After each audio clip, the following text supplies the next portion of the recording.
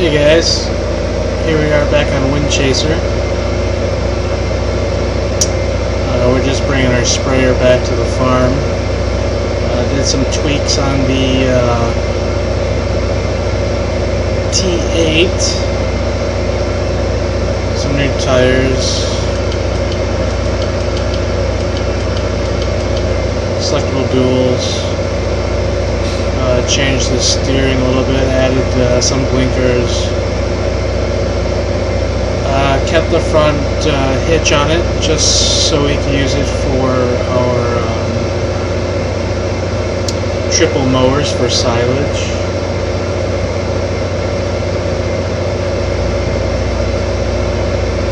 So we have mirrors. Oh, I uh, increased the the lights as well.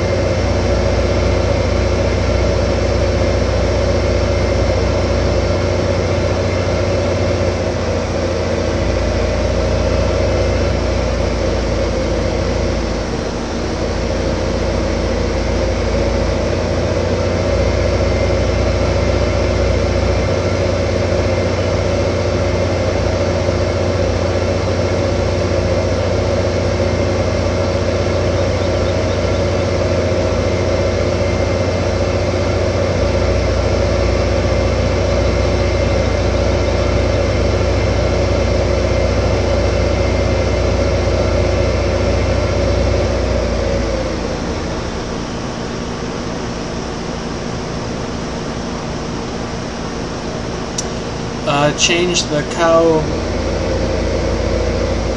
textures.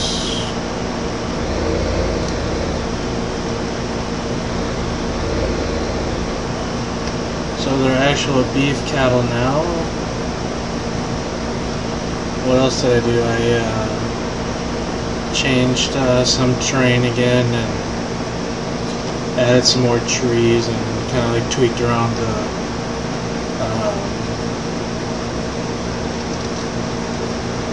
town a little bit. Added uh, seed and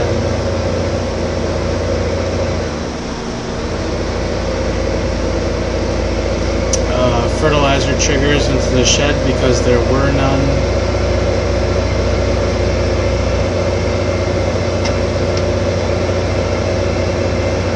So we're just gonna get busy and spray these fields. Um, just do a little soil management for these crops. Uh, this field 22, it's uh, it's uh, wheat, so we're gonna have to rent a combine to uh, harvest this and.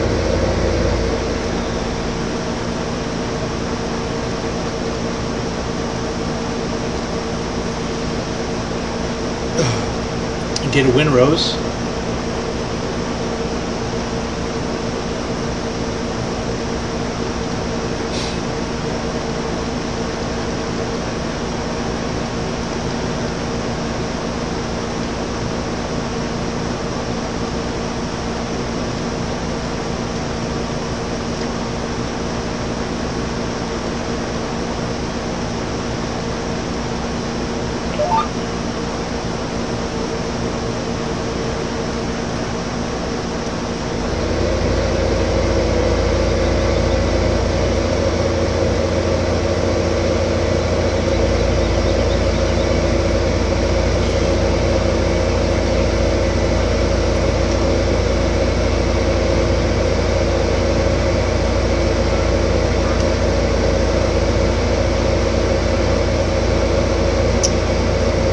Just made a little bit more American uh, version of this T8.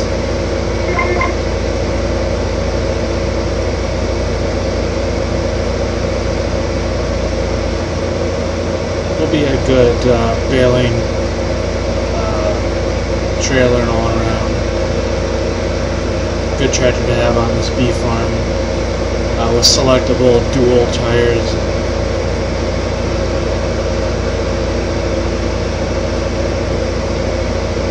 The only issue with um,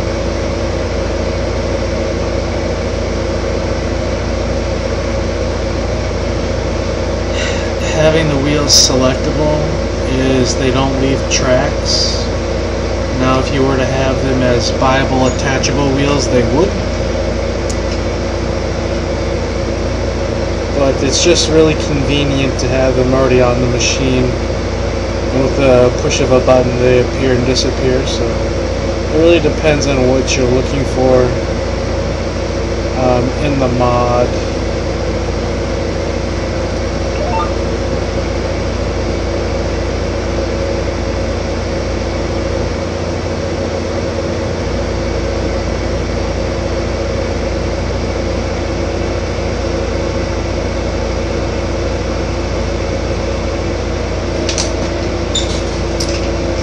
So I also updated some of the scripts for the beef and swine. Um, they came out with a like a, a few uh, updated versions, and I just you know never updated. You know, I haven't updated the scripts for six, seven months or so just because I never really used it because I really wasn't that impressed with it.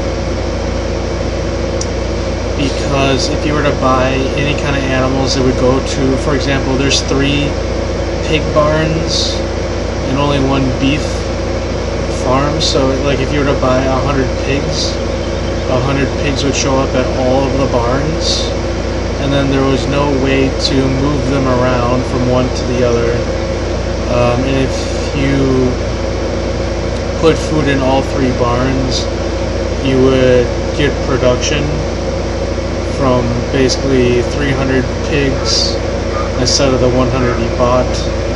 So that kind of bothered me and was a turn off. So I just kind of stuck with dairy farming. And then um, the the calves or the the new animals that would grow, they never contributed to production, so it was not ideal, but um, I really haven't used it yet, but what from reading the change logs and whatnot, it seems as they've addressed those issues I had, so. And getting kind of sick of running the crop farm.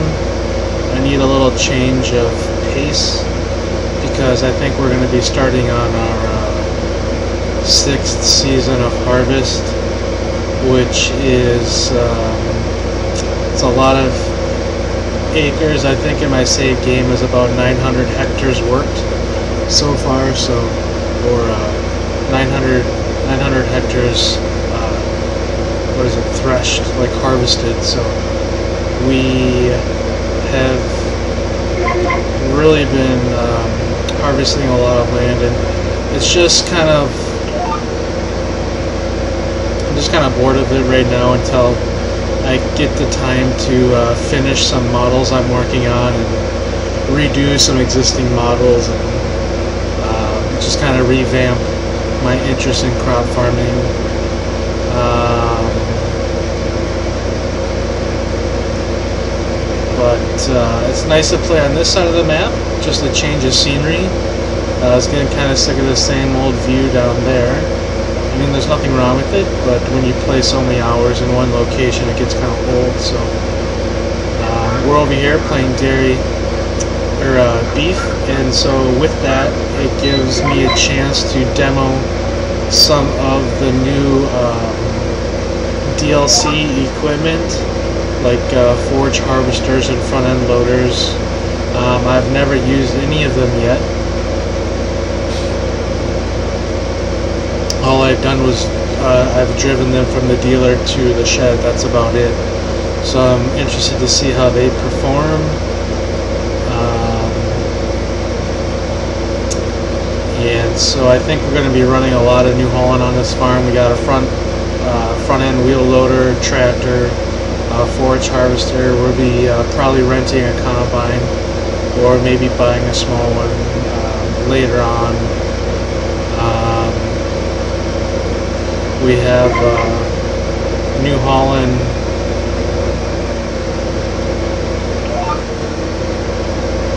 um, square baler.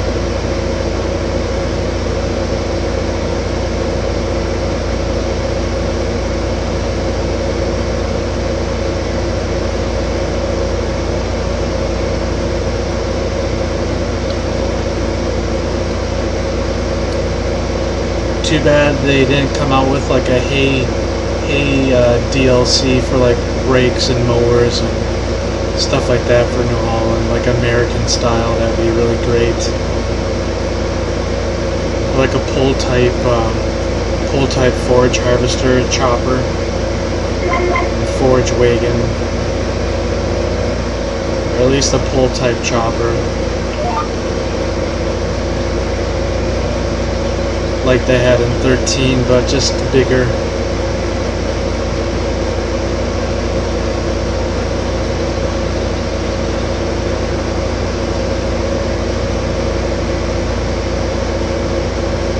So we're just working on our soil management now, trying to get our nutrients in these fields up. So hopefully they get to little respectable levels when uh, soil mod updates.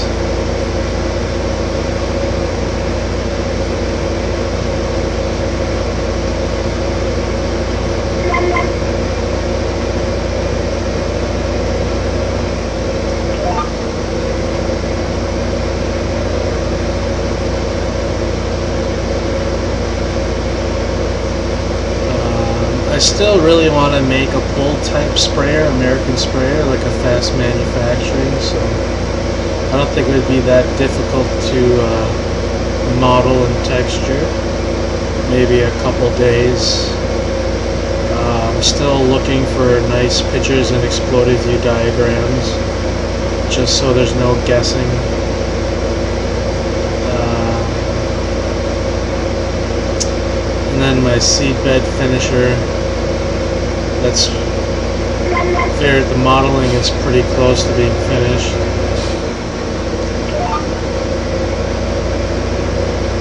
Really haven't touched it since my last video I made of it.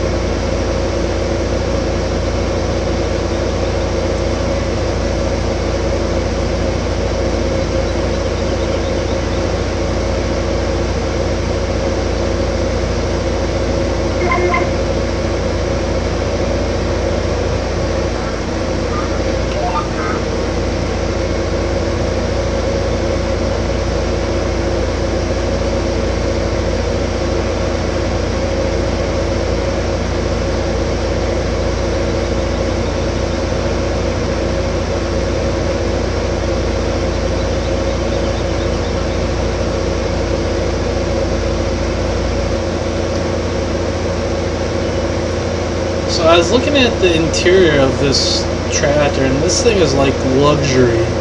I mean, the seat is probably air conditioned, heated seat. It's impressive.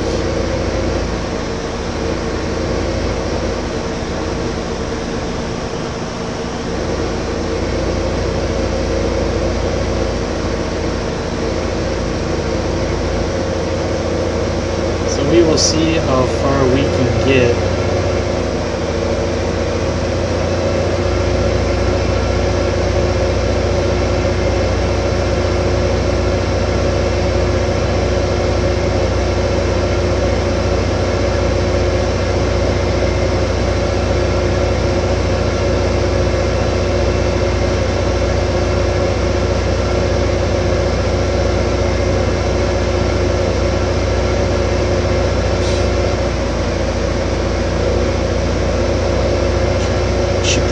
paint these brown buildings like uh, white and green or something to match white and black or something like that. Change the textures over here a little bit.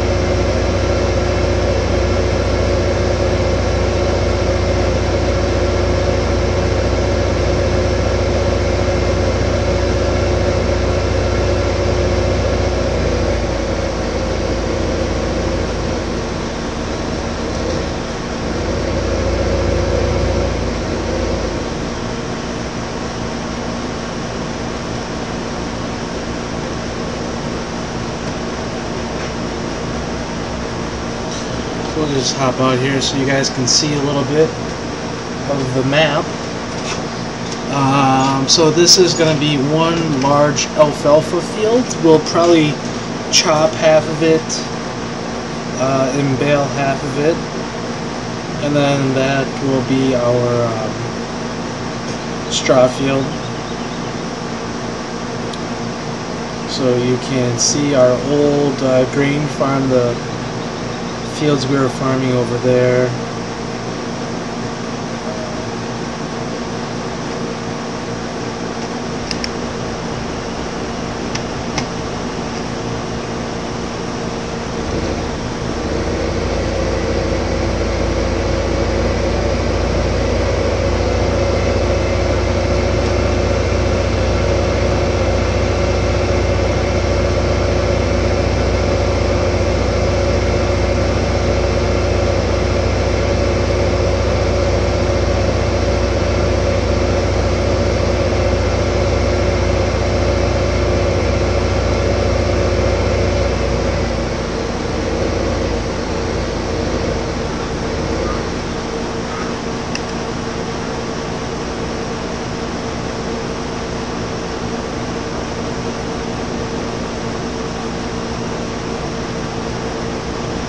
So we increase the turning radius of our tractor.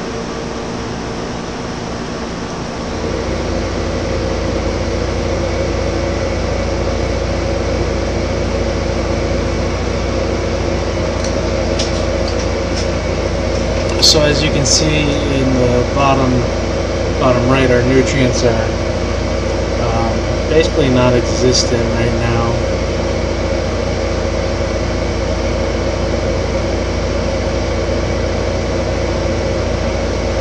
So we're just trying to ramp that up a little bit so we actually get some decent yields out of this field of alfalfa. Um, it should be interesting to see how this works with soil mods since this regrows like grass does so you don't have to do any tillage which uh, saves saves a lot on moisture retention.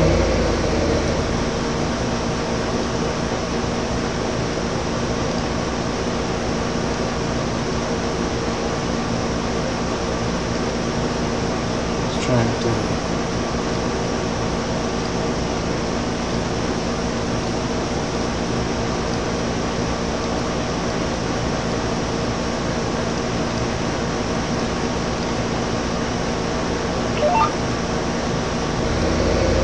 good line here for my GPS.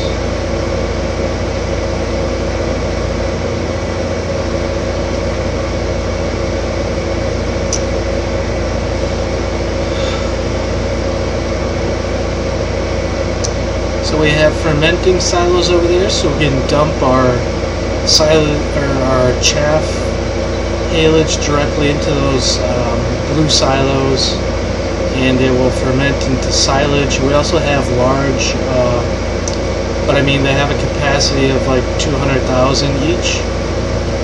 And then we have a large, two large silage mountain in the back there. So you can really dump a lot of silage and ferment. Um, also at the BGA. Um, definitely more silage than you can use or sell. Um, but if you have long growth periods like I do in this game, it's you know roughly like 24 days in between harvests. Uh, you kind of need a decent stockpile of silage and food for your cows, beef and pigs. So. People ask me why why have such long growth uh, stages, and it's like I just explained, it allows you to harvest more crop and use it to stockpile bales and silage and grain for animals. And then, um, for example, if you're doing grain farming, and you're unloading millions of liters of grain in one hour, uh, the price plummets considerably, and it takes uh, several weeks for that uh, price to come back up to the normal level. Um, so by having longer growth stages, it, uh, especially with soil mod, it allows you to farm more acres um, and harvest more acres, and it allows you to your basically your price to recover from unloading your entire grain bin at one location in an hour during like great demand. So it uh, if you have the accelerate time mod, it works very well. Um, and it allows you to have real prices and realistic yields. So um, I can't imagine not having long growth periods. And now, if you didn't have soil mod, it would get kind of boring because all you do is plant, fertilize, and harvest. Um, but soil mod, you have to like keep spraying and work with the weeds and um, try to maintain your moisture throughout the week.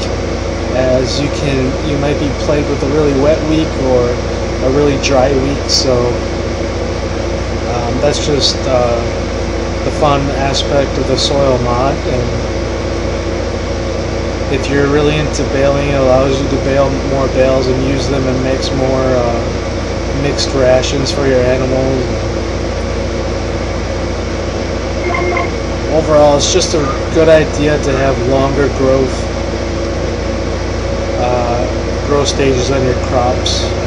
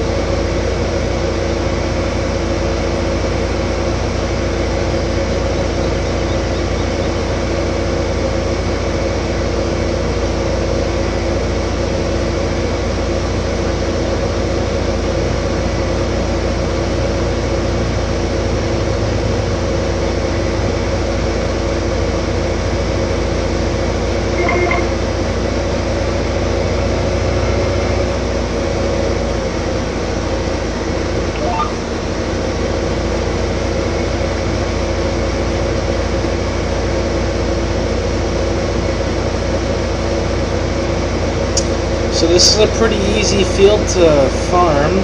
As long as you go parallel with that dirt road, it uh, nice long, uh, nice long passes.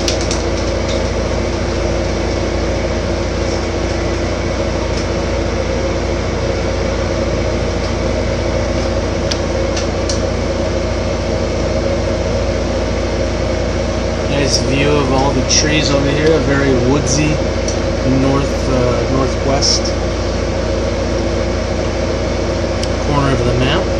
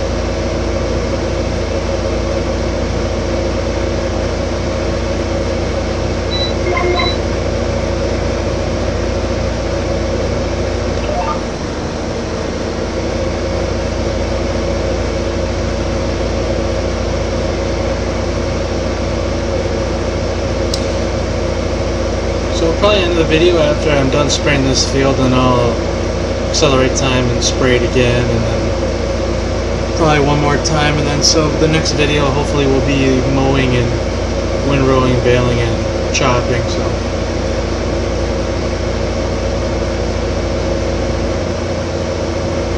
might have to get a second T8 eventually to help us with our chores.